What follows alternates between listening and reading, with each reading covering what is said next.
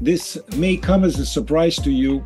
Everybody knows that sleep is very important, and medical research is more and more showing it that sleep is very important, besides, as Ziv mentioned, exercise and other things. But uh, for those people who need any kind of either supplement or medication to uh, help them with sleep, or what is now being recommended for surgical procedures. There is a benefit to actually take melatonin, which is not a medical drug and doesn't have all the side effects.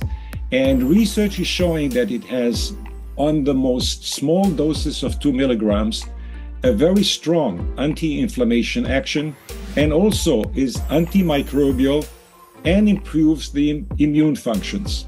So, besides getting a good night's sleep without side effects of any drugs or whatever, we will start recommending our patient to start taking it a week before and a week after surgery because of that particular benefit.